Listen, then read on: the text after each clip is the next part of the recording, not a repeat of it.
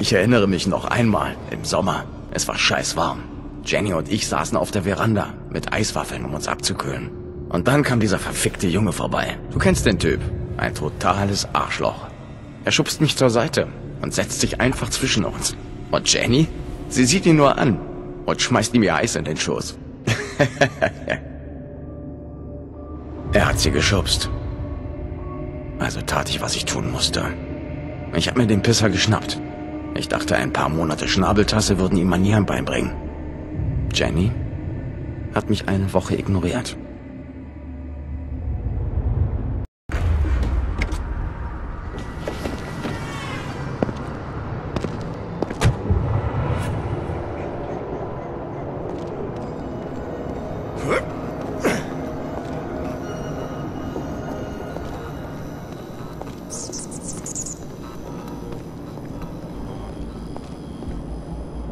Kenne ich dich?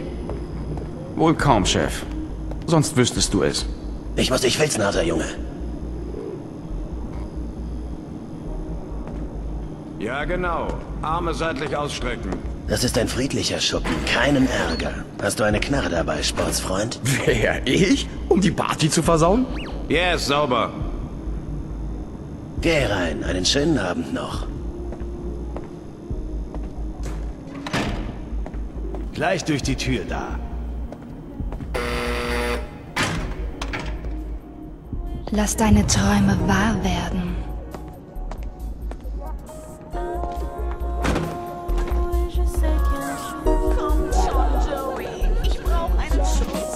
Was du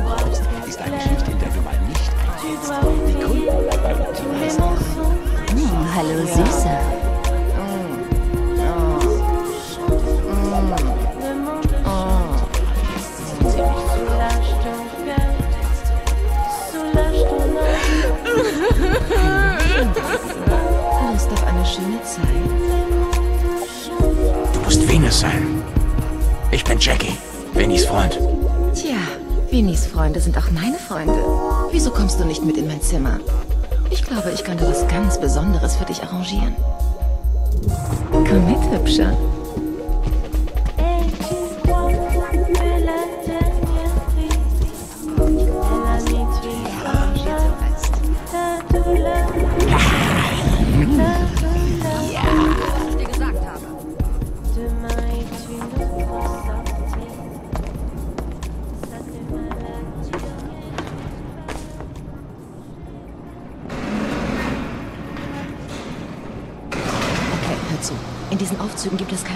Aber wir haben nicht viel Zeit. Ich habe Winnies Kanone in meinem Zimmer versteckt. Wenn die Kerle sie finden, bringen sie mich um. Die machen keine Spielchen, Jackie. Das sind echt abgefuckte Leute. Die sind total durchgeknallt. Versprich mir einfach, dass du mich nicht hängen lässt, wenn was schief geht. Du musst also schnell in den zweiten Stock. Hörst du mir zu? Ja, ja, verstanden. Also los, da lang.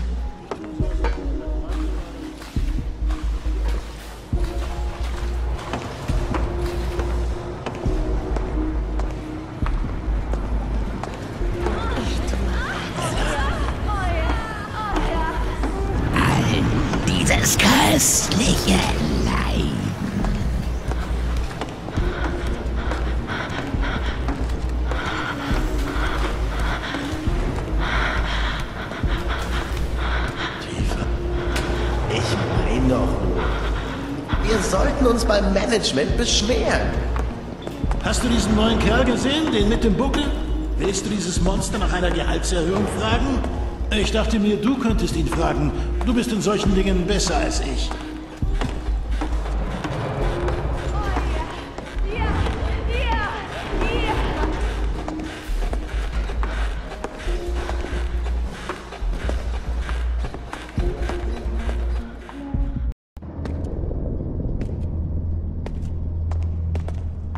Was für dich.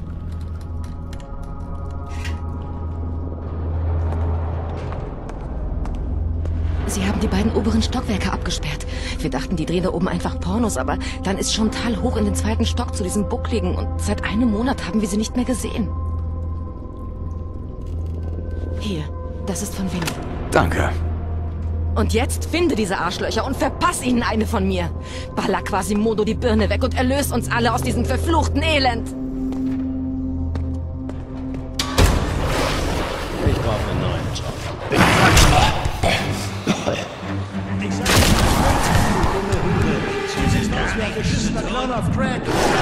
Jetzt muss ich Lippenstift vom...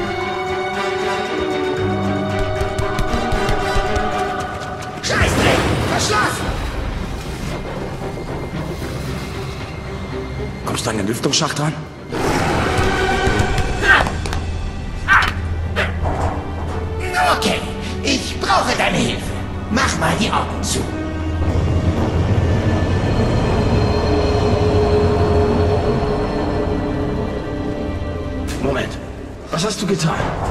Netter kleiner Trick, oder? Jetzt siehst du mal, was ich sehe, stimmt's? Wie ist die Aussicht? Kurz. Dann mal los. Hört ihr das, Brüder? Der Gral wird sie halten. Sobald wir alles haben, gehört die Welt uns. Was soll das? Bruder Öffne die Tür. Ich frag nur persönlich. Sünde produziert die Essenz der Finsternis, die uns Kraft verleiht. Und Sünde ist profitabel. Irgendwas stimmt hier nicht.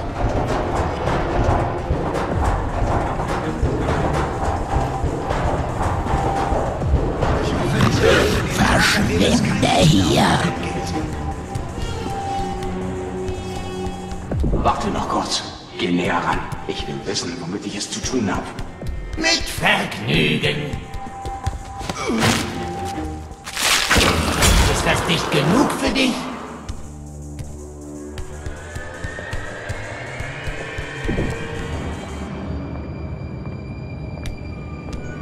Traut euren Augen und Ohren nicht! Religion ist Opium fürs Volk! Sie sind alle blind. Nur die Bruderschaft kann sehen.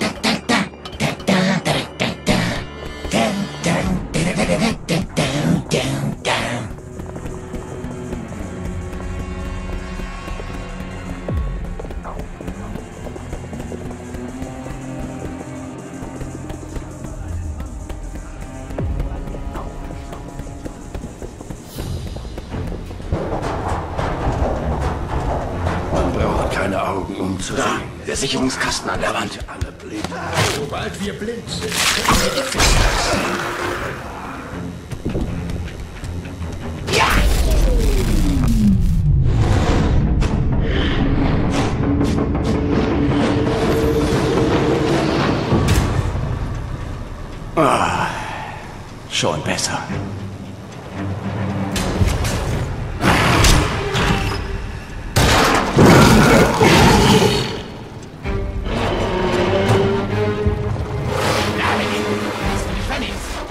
Na los, suchen wir die Männer, die es auf mich abgesehen haben.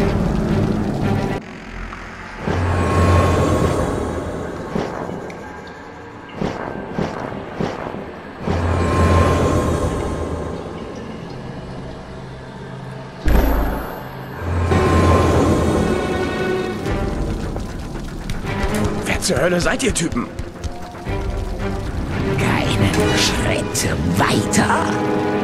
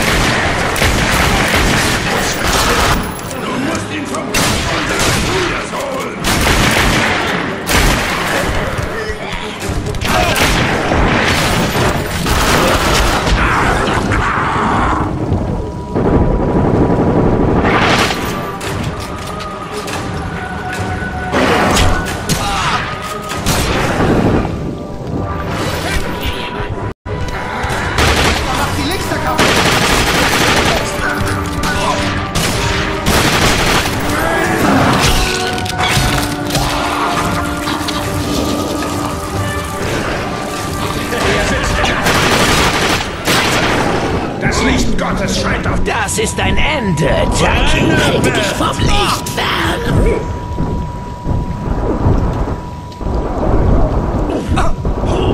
So vorhersehbar. Den Gral bereit machen.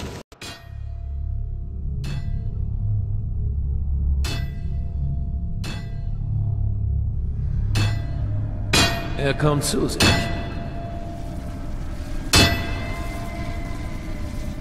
Was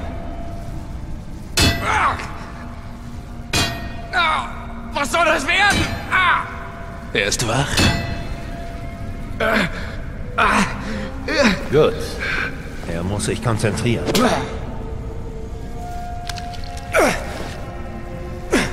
Er fühlt sich klebrig an. Ich mag das. Kümmer dich um deine Aufgaben, Bruder. Ist der Transfer abgeschlossen, haben wir, was wir wollten. Du musst mir glauben, Jackie. Ich wünschte wirklich, dass es einen anderen Weg gäbe. Wir alle müssen schwere Entscheidungen treffen. Das ist deine.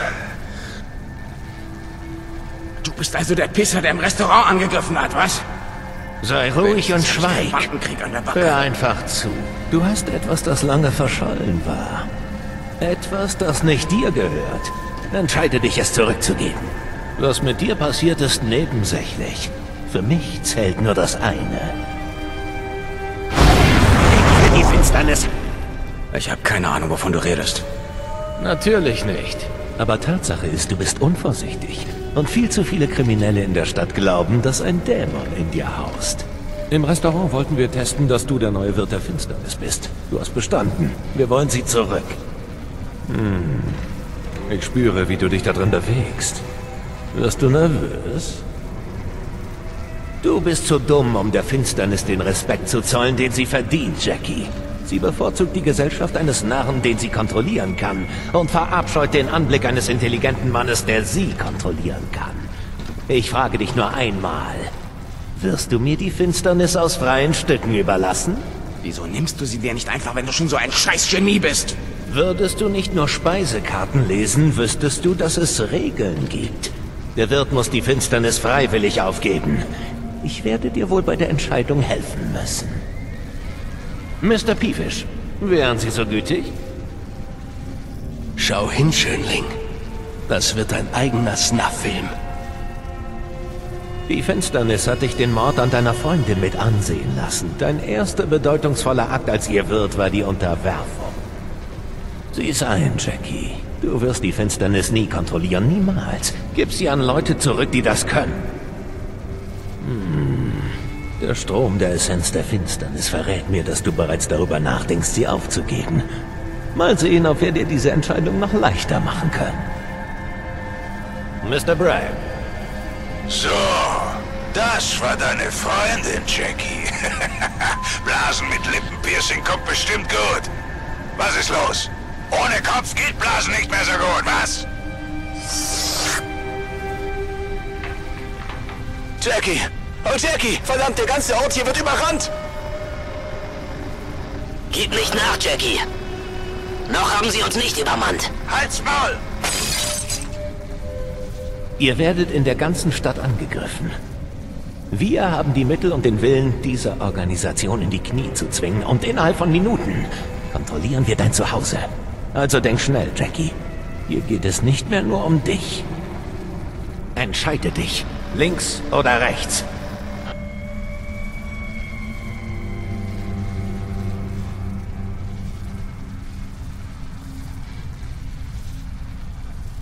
Jackie, nein! Das kannst du mir nicht antun! Du Hurensohn! Der hat sich nass gemacht. Du hast das Richtige getan, Jackie. Zeig diesen Bastarden, dass keiner in unser Revier kommen kann. Halt deine verfluchte Fresse, du beschissene Leiche! Es war die falsche Entscheidung, den Geist aus der Flasche zu lassen, Jackie. Für die Finsternis bist du nur eine Marionette aus Haut und Knochen. Letzte Chance. Gibst du mir die Finsternis aus freien Stücken? Leck mich. Dann eben nicht aus freien Stücken. Ich versuche dir zu helfen. Aber wenn du zu dumm bist, das zu erkennen, verhandle ich eben in einer Sprache, die du verstehst. Mr. Bragg, töten Sie alle im Haus und reißen Sie der alten Dame die Arme aus. Hey, ich könnte hier noch ganz andere Sachen abreißen. Na, was meinst du, Jackie? Du hast Jenny verloren, weil du die Finsternis nicht kontrollieren konntest. Und jetzt wirst du alles verlieren, was dir wichtig ist, weil du nicht vernünftig genug bist, um deine Grenzen zu erkennen. Schlagt ihm die Zähne aus. Einen nach dem anderen.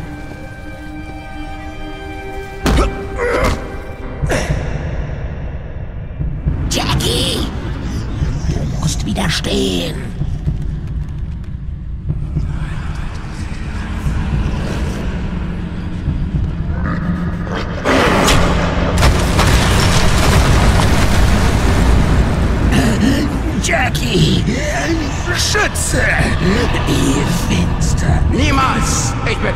Mit dir! Sie dürfen mich nicht kriegen! Leck mich! Ich bin nicht länger deine Marionette! Du wirst mir gehorchen! Gib mir einen guten Grund!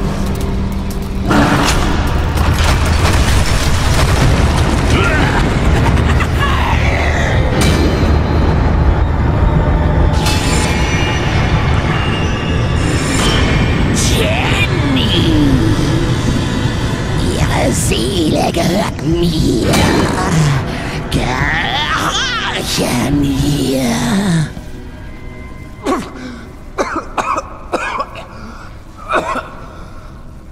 Jenny! Jenny ist tot, du Idiot! Konzentrieren! Gib mir die Finsternis, oder deine teure Tante Sarah ist Wurmfutter. Ich kann nicht. Ich habe keine Wahl, ich muss den gerade benutzen. Mr. Peevish? Die Binderituale sind fast vorbereitet. Nicht mehr lang. Gut, halten Sie ihn in Schach. Er soll so schwach wie möglich sein, wenn das Ritual beginnt. Widerstehe! Widerstehe!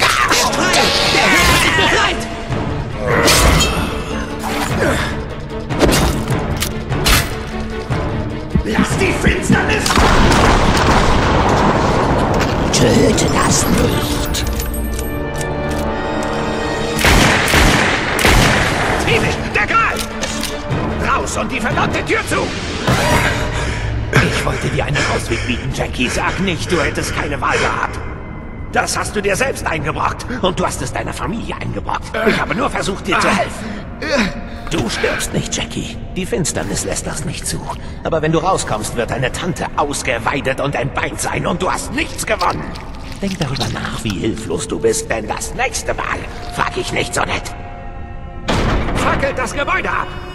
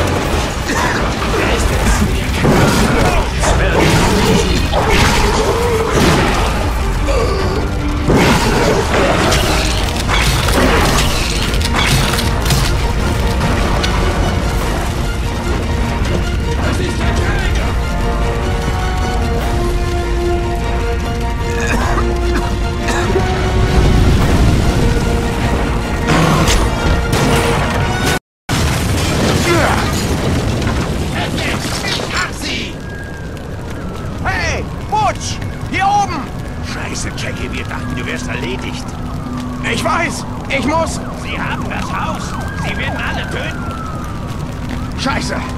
Triff mich dort! Ich suche einen Weg nach unten! Den Kral! Ihr macht uns ganz! Halt's Maul! Da ist er! Sie weint, Jackie! Ein